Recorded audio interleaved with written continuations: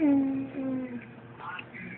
Here we are at Guido's, one of our favorite restaurants where we get pizza. Lots of pizza.